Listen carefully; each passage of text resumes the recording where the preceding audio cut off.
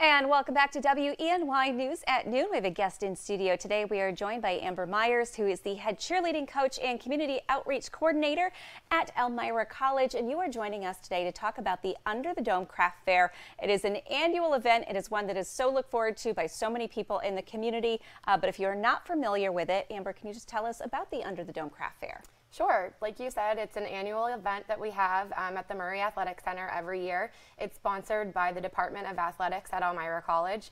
We have over 180 vendors that join us. We also have food trucks, and new this year, the Elmira College Snack Bar, which will be open, which is a fan favorite. Um, it's just a really great way to start off your holiday season, get your holiday mm-hmm. shopping. Um, it's a really good family event. Um, yeah, so it's just a, a fun day that we're really looking forward to. And can you just talk about the process of, um, you know, the different types of vendors that you'll have there? And like you mentioned, this is such a good time uh, to start your holiday shopping. And I think so many people really appreciate a, a, gift that was made by someone else and really crafted with care. So can you just talk about the different types of vendors that you typically have? Yeah, absolutely. I mean, you know, it's always so wonderful to support local business. So these are all local vendors um, that make homemade crafts. And we have everything from Christmas decorations, um, we have homemade candles.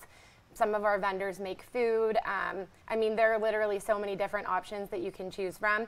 I mean, and it's just a really great way to give unique gifts that you can't really buy at the stores. And um, the uh, the Murray Athletic Center, affectionately known as the Domes, uh, what a unique setting to be able to host an event like that.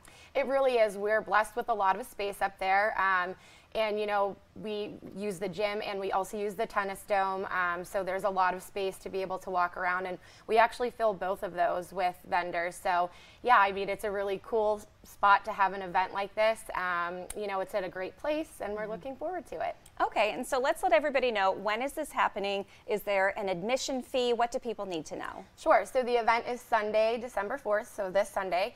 The admission is $5. Um, children are free. But with your admission ticket, you actually will get a raffle ticket and you can be entered into your choice of either a TV raffle or a Yeti cooler raffle. Um, in addition to that, we will have 50 50 sales. Um, I know that that's usually a, a, pretty big ticket and a good way to start your holiday season off. All right. Well, Amber, thank you so much for uh, coming on WENY News at noon and telling us about the Under the Dome Craft Fair. I hope it's a wonderful success again this year, and thank you so much. Thank you. All right, and thanks for staying with us for WENY News at noon. We'll be right back after the break.